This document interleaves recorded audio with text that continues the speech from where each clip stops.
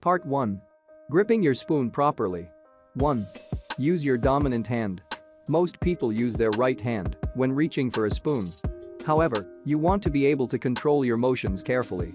Therefore, it's best to use your dominant hand.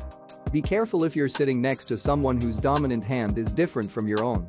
Be conscientious of your movements to avoid accidentally knocking elbows with them. 2. Hold the spoon horizontally. You want to hold your spoon horizontally as you move it. This will prevent food from spilling while you eat. Keep your spoon steady with the first knuckle of your index finger and the tip of your middle finger, holding it at a horizontal angle. 3. Rest the handle across your middle finger. Curl your middle finger, ring finger, and pinky fingers inward and lay the handle of the spoon over top the middle finger with the dome of the spoon pointing towards your other hand. Rest the portion of the spoon's handle right before the head on your index finger. Allow the end of the handle to rest on the curve made by your thumb. 4. Hold the spoon in place with your thumb and index finger. Place your thumb and index finger on top of the end of the spoon. Press down on the end so that the spoon is held between the top of your middle finger and your thumb and index finger. This should keep the spoon secure while you're eating and drinking. Part 2. Eating with a spoon. 1. Turn your wrist to dip the spoon. Holding the spoon like this allows you a greater field of motion.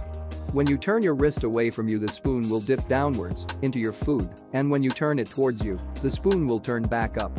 This is a more flexible position than if you held the spoon in, say, a fist or between your thumb and index finger. 2. Use the side of the spoon.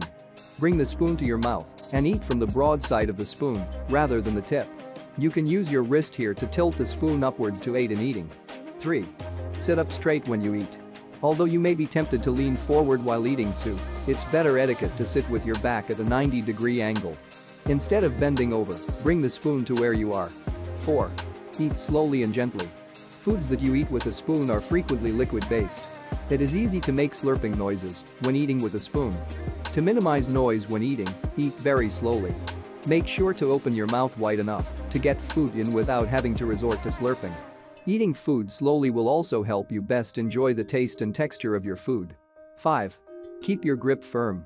Make sure to grip firmly on your spoon when you eat. Keeping a loose grip can cause you to drop your spoon, which can cause a mess and loud noises. Keep your grip firm enough that the spoon does not wobble in your hands while you eat. Part 3. Following proper etiquette. 1. Use your spoon for the right dishes. Spoons are used to eat liquid-based food, such as soups.